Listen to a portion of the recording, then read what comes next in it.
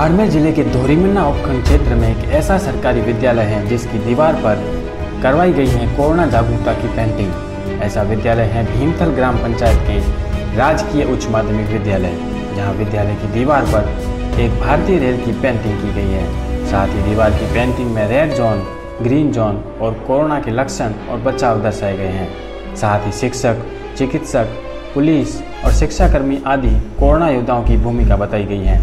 एक कोरोना योद्धा के रूप में शिक्षक की भूमिका भी बताई गई है। कोरोना जागरूकता की पहल के तहत पिछले पाँच पाँच, सात दिन में हमने हमारे विद्यालय की मुख्य दीवार पर भित्ति चित्र बनवाए, जिनके माध्यम से ग्रामीणों छात्र छात्राओं को कोरोना के बचाव का संदेश देने का प्रयास किया गया।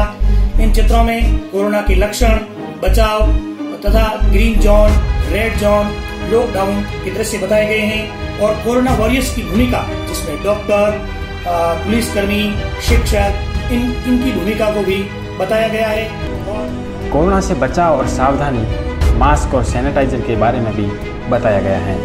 विद्यालय के प्रधानाचार्य रूप सिंह जाखड़ ने बताया विद्यालय की दीवार पर रेलगाड़ी के डिब्बों की कलाकृति बनाई गई है, ताकि विद्यार्थियों को विद्यालय की ओर आकर्षित किया जा सके।